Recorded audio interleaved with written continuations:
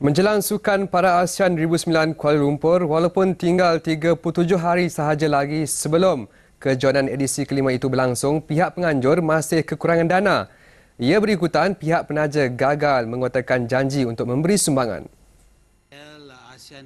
Biarpun diberi suntikan sebanyak 4 juta ringgit daripada kerajaan, Jawatan Kuasa Penganjur Sukan Para ASEAN Kuala Lumpur 2009, KLA PGOC masih mengalami defisit RM600,000 bagi penganjuran yang akan berlangsung pada 15 hingga 19 Ogos ini. Saya kira kita in deficit about 1.2 million uh, in deficit.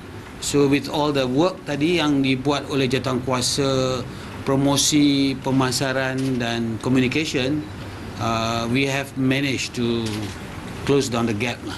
Jelas beliau lagi walaupun mendapat geran daripada kerajaan, jumlah itu masih belum mencukupi dengan pembabitan 980 atlet kurang upaya dari 10 negara ASEAN dan Timor Leste. Justru pihaknya bakal menggunakan jalan alternatif dengan meminta agensi-agensi kerajaan yang terlibat untuk tidak mengenakan sebarang bayaran ke atas perkhidmatan yang diberikan. Ini termasuk tidak mengenakan bayaran sewa bagi kesemua 11 venue, pengekutan dan perkhidmatan lain. Tindakan itu dapat mengurangkan lagi pembelanjaan bagi temasyak itu.